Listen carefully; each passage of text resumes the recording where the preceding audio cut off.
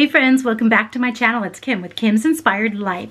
Guys, today is Wednesday, but I'm to be posting Tea Tuesday, and I'll tell you why in just a minute. I am drinking coffee, my favorite coffee from Starbucks. Americano with extra cream. Yep, that's what I drink. And this morning Zoe had gym and um, it's so fun to go with her. It's so amazing what they have um, four-year-olds doing. Well, almost four-year-old. She's three and a half, but it's just amazing. They just had so much fun. So the thing is, is that next door to the gym is a Starbucks. And so we are in this habit of going next door and the kids will get a water or a cake pop. And then of course, you know, usually we get something. So it's a habit I don't know if it's a good habit, a bad habit. It's a habit though. But it's okay. You know what? a couple Starbucks a week is not going to kill me, especially since I don't buy them. I will have to say my daughter-in-law, when I'm with her, she has that, you know, app on her phone or whatever you use. And so she always, um, you know, buys my Starbucks for me. She says it's, you know, you guys do so much for the kids. It's the least I can do for you. So I'll take Starbucks as payment anytime. so uh, that's what that is. That, so that's what I'm drinking right now. Guys, today I'm actually going to be sharing with you um, some cards that I'm making. I have this paper pumpkin kit and it has so much Halloween fall slash stuff in it. And I figured, you know what, I need to make some of these because I can start gifting these out um, right after July is over and Christmas and July is over. People are going to be looking at fall already. Actually, yesterday, uh, that's what I was going to be doing. I was actually going to craft with you um, while I was talking to you and I was drinking a cold tea from Starbucks at that time.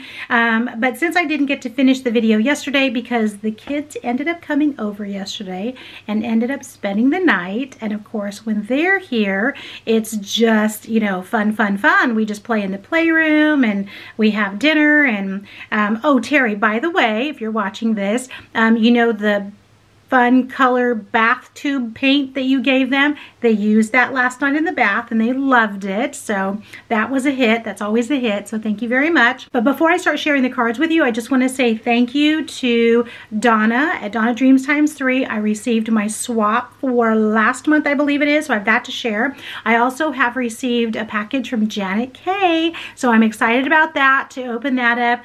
And Soleil, I have something coming to you, my friend, but I went to the post office yesterday mailed the package to Australia, and um, because I didn't package it correctly, um, it was going to cost me an extra like $15, so I said, you know what?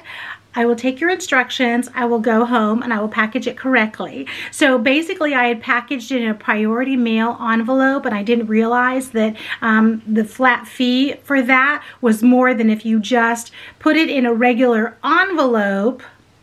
Anyway so um, I'm gonna do that. So I have that to, to get packaged up and then I'll be bringing that to the mailbox um, on Friday. Enjoying my coffee and if you're not an Americano drinker, I don't know. I just, it's my favorite. Hey friends, today we're going to be making some 3 by 3 cards.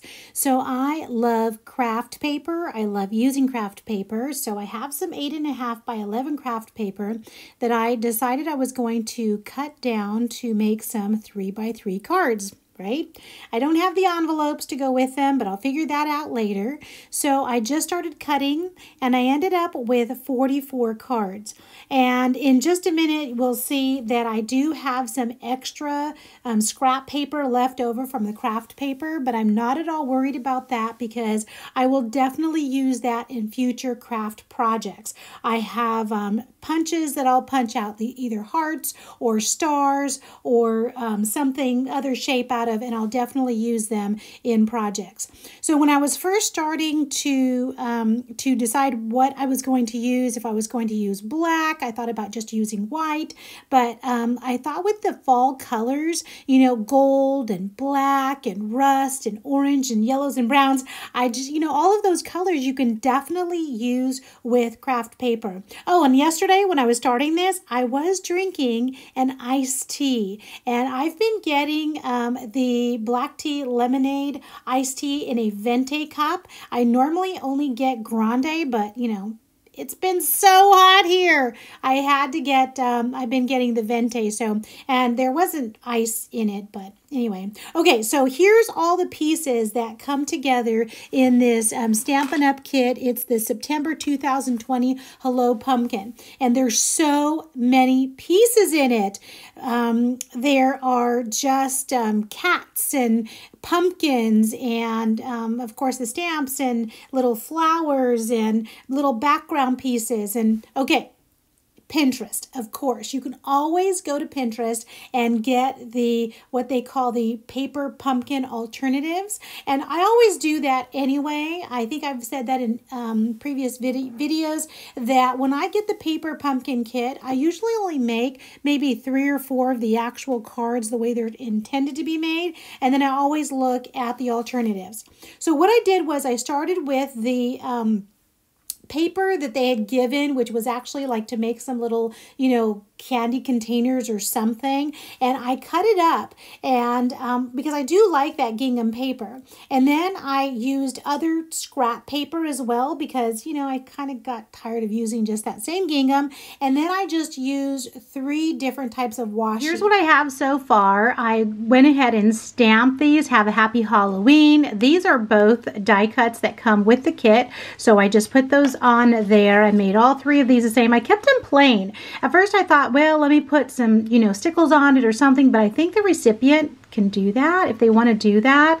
And then I love these little pumpkins and there are so many. I have so many of all of these um, left over. I cut out 44 of these um, three by three cards and I'm not sure if I have envelopes to go with them. I'm going to have to check so that I can send the recipients cards as well as envelopes. So, all right guys, well I am going to continue working on all of these cards. So hopefully I'm going to try to work fast so I can get all of these done today and then I can move on to the next thing. Thank you for stopping by for Tea Tuesday on Wednesday. and have a great week. I'll talk to you soon.